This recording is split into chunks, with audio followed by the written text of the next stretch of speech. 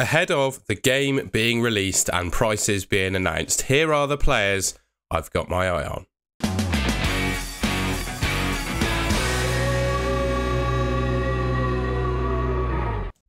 So starting things off, I've gone for Pascal Gross. He finished as the top scoring Brighton midfielder in FPL last season, despite Mitoma, March, Mac Allister all having fantastic seasons.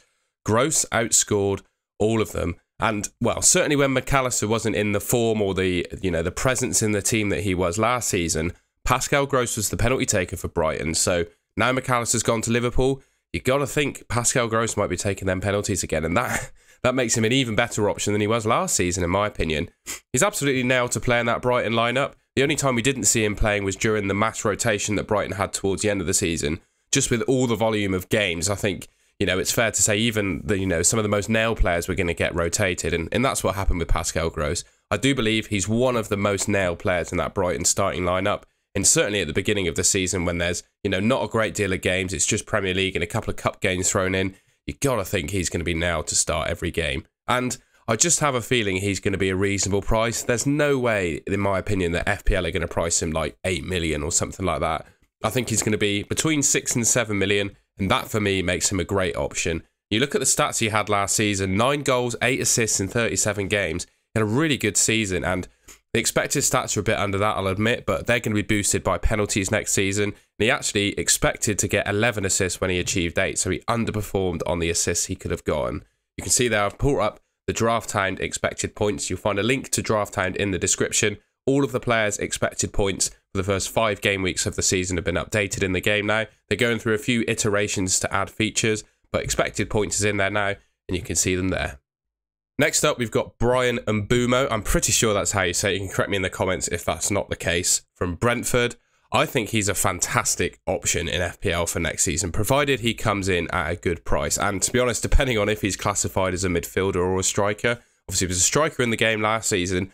I've just got a sneaking feeling they might make him a midfielder, but we'll wait and see on his price and position. But regardless, I think he's going to turn into Brentford's talisman next season. You know, the Toney situation that they have, it means they probably can't sell him because no one's going to want to play, buy a player that's banned until like January. And they also, you know, they're not going to replace him because he's back in January. So this team is going to stay the same. And it's almost just going to be like Toney's injured for a few months where they're not necessarily going to buy like a first class replacement. They're going to have to rely on the rest of the squad to fill the void.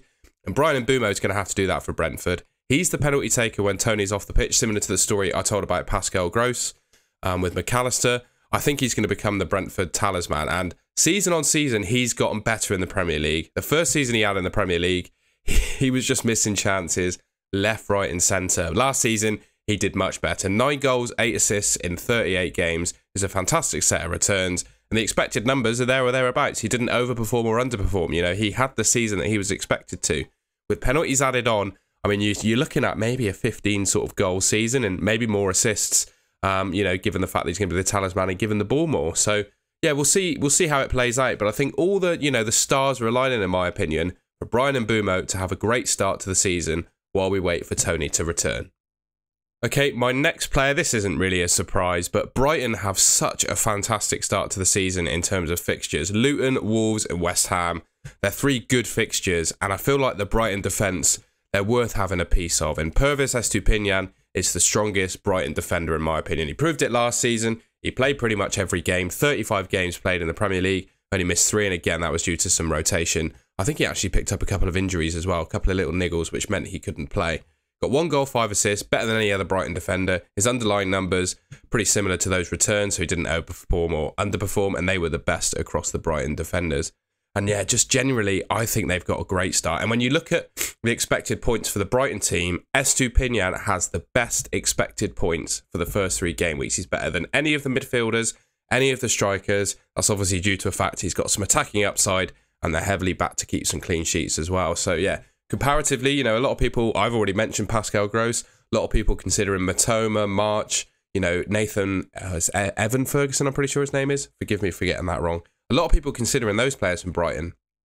But Estupiñán, certainly on the Drafthound expected points numbers, is leading the way. And that's why I think he's going to be a lock. Providing he doesn't come in at a ridiculous price, I think he's going to be under 6 million. Providing he comes in at that sort of price, he's going to be a lock in my team.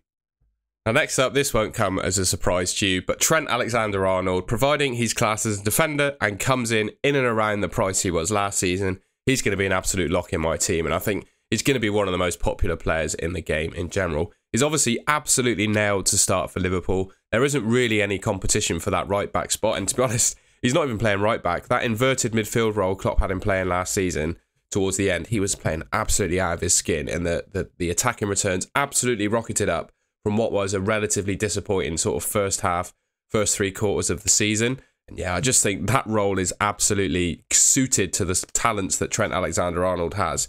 And I'm really, well, pleased, at least for England, that he's being used in that way.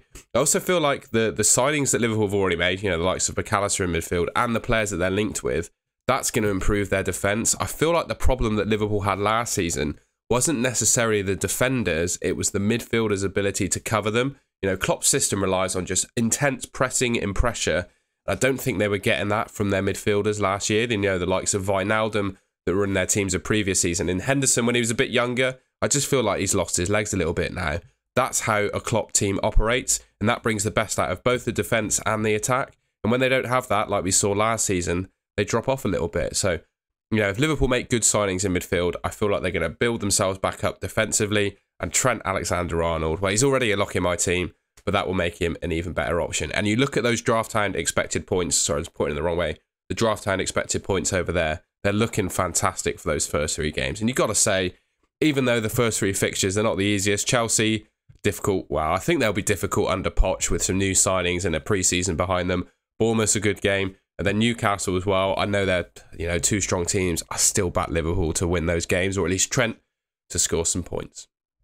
And finally, it's the three Arsenal midfielders. Now, depending on how they're priced up, depends on who I pick. But for me, Odegaard, Martinelli, and Saka, I'm going to have two of them in my team to start the season off. As long as they come in sort of in and around or under 9 million, I feel like any of them are good options and you're going to get what you pay for. Looking at their stats last season, there really isn't much to choose between them. Saka arguably had the better season, you know, getting a lot more assists than the likes of Odegaard and Martinelli did. Obviously, Odegaard and Martinelli both scored 15 goals. When you look at the underlying numbers, as you can see, Saka slightly outperformed his expected assists and expected goals, and the other two slightly, well, also Odegaard looking like he overperformed them as well slightly. And you can see the stats there. I don't need to go through them in detail, but for me, provided they come in at a sensible price, I think they're going to be more more than worth the budget that you're going to spend on them. The only thing I would say, probably Martinelli is the one. Well, the fact they signed Kai Havertz, right? He's got to have some sort of impact on that squad. Whether he starts game week one in the Premier League remains to be seen, but he adds a healthy level of competition in that Arsenal midfield.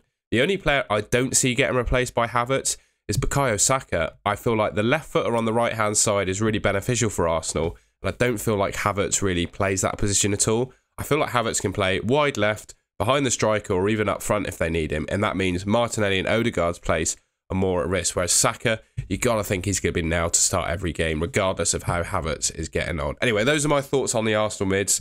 I'm definitely going to be having two of them to start the season. And that was the end of the video. I hope you can tell that I'm getting excited for the game to launch now. I'm having some thoughts now about players that I want to pick, as you can see. I think regardless of price, these are the players that are on my watch list, and I'll be eagerly awaiting to see what position they get classed at and how much they're going to cost me. If you enjoyed the video, please leave me a like rating and subscribe to the Golden Goal channel, which should be, I'm pointing in the wrong direction, about there on the screen. And yeah, I'll catch you in the next video.